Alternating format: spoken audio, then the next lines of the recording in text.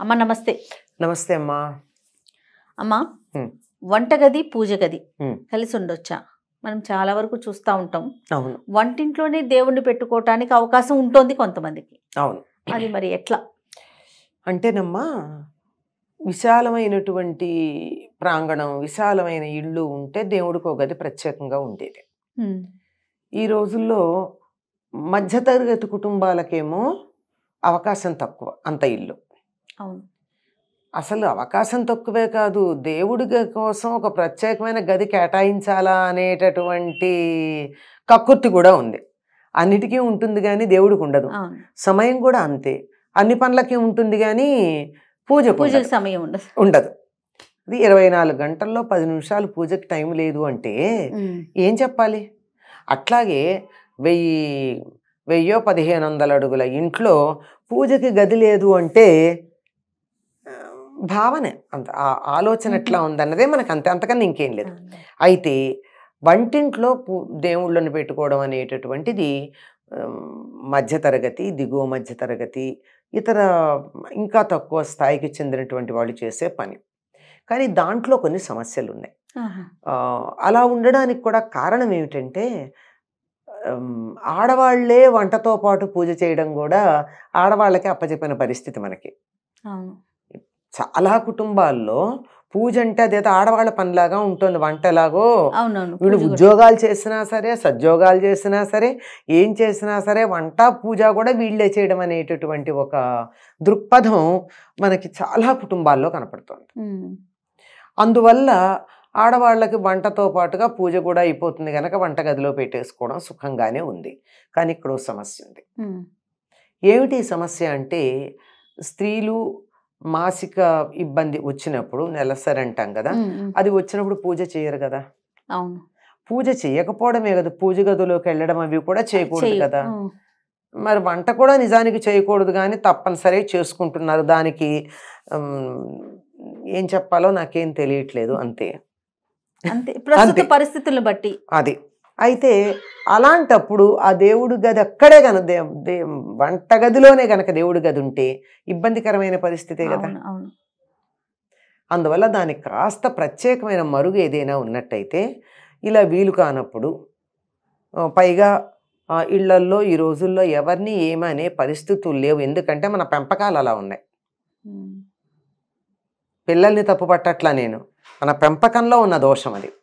అందువల్ల వాళ్ళు బయట నుంచి ఎక్కడ పడితే అక్కడ తిరిగి వచ్చి ఎట్లా చేస్తే అట్లా చేసి వచ్చి స్నానాలు చేయకుండా ఒక్కొక్కప్పుడు చెప్పులతోనే లోపలికి వచ్చి కరోనా పుణ్యమాన ఆ పని మానేసామనుకోండి చెప్పులతో తిరగడం. ఈ చెప్పులతో లోపలికి వచ్చి ఇట్లాంటివన్నీ చేస్తూ ఉంటే వంటింట్లోనే చేయకూడదు. కానీ ఏమనలేని పరిస్థితుల్లో దాన్ని కూరుకుంటున్నాం. అట్లాంటి దేవుడు అక్కడుంటే ఇలాంటివన్నీ ఎలా కుదురుతాయి. కానీ అంత పెద్ద ఇల్లు దేవుడికో ప్రత్యేకమైన గది కనీసం ఒక మనిషి కూర్చునేటంత చిన్న గదిగా అన్నా ఏర్పాటు చేసుకునే వీలు లేని పరిస్థితులు వస్తున్నాయి అందుకని కొంతమంది ఉన్నంతలో సర్దుకోవడానికి చేసే పని ఏమిటంటే ఆ దేవుణ్ణి వంటింట్లో పెట్టుకున్నప్పుడు అదొక షెల్ఫ్ లాగా పెట్టడము లేకపోతే. దానికి తలుపులు పెట్టడము అది వీలు కానప్పుడు ఒక కట్టెన్ లాంటిది వేయడము లాంటివన్నా చేస్తున్నారు. ఇది కొంతవరకు కొంతవరకు పూజ వంట తనే చే- ఆడవాళ్ళే చేయాలి అనే నియమం ఉన్నప్పుడు మాత్రం అలా వంటింట్లో ఉండడమే సరైనటువంటి పద్ధతి. ఎందుకంటే ఇక్కడికి ఇక్కడికి గంతులు వేస్తూ కాళ్ళు జారి పడటం కన్నా దగ్గరలో ఉంటే సుఖం కదా? అవకాశం ఉంటే సరే సరే. లేకపోతే అవకాశం ఉంటే మాత్రం అది విడిగా ఉండడం ఉత్తమం అమ్మ. ఇంట్లో ఒక కాస్త ప్రదేశం ఒక డైనింగ్ టేబుల్ పెట్టేంత ప్లేస్ అన్నా మీకు? దేవుడి కోసం కేటాయించలేరా ఒకటో రెండో విగ్రహాలు ఫోటోలో పెట్టుకుని ఇద్దరు మనుషులు కూర్చోవడానికి సరిపోయిన చోటు వరకు మీరు దేవుడికి కేటాయించి మిగిలినది ఇల్లంతా వాడుకోవచ్చు కదా. అలా చేయగలిగితే వెల్ అండ్ గుడ్ లేని పరిస్థితుల్లో కనీసం దానికో తలుపన్నా పెట్టుకుంటే రెండో పక్షం. సరైందని నేను అంటలేదు. రెండో పక్షం లేదు మేము పాటించగలమండి. ఇటువంటి నియమం కనీసం దేవుడి దగ్గర ఈ మాత్రం పాటించగలమండి అని కన్నా కనుక అన్నట్టయితే అభ్యంతరం ఏం లేదు. ఓకే. ఏం పాటించాలా అండి? ఈ ఈ సమస్య కూడా వస్తుంది. ఎందుకు పాటించక్కర్లేదండి? మీరు ఐసీయూలో పెడుతూ ఉంటే ఈ బట్టలతో వెళ్ళనిస్తారా మిమ్మల్ని? మీకు వేరే వాళ్ళు డిస్పోజబుల్ షూ ఇస్తారు. అవును. అది తీసి అవతల బారేస్తాం. పైన ఏదో వేస్తారు కోట్ వేస్తారు ఈ బట్టలతో వెళ్ళట్లేదే.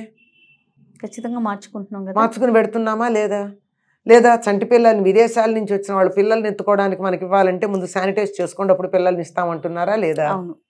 అట్లాంటిది అంతకన్నా సెన్సిటివ్గా ఉండి అక్కడి నుంచి బోల్డ్ వైబ్రేషన్స్ అందరికీ ప్రసారం చేసేటంత సున్నితం కలిగినటువంటి దేవుడు దేవుడి దగ్గరికి వెళ్ళేటప్పుడు ఆ మాత్రం శుచి పాటించాలా అక్కర్లేదా? ఖచ్చితంగా పాటించాలి.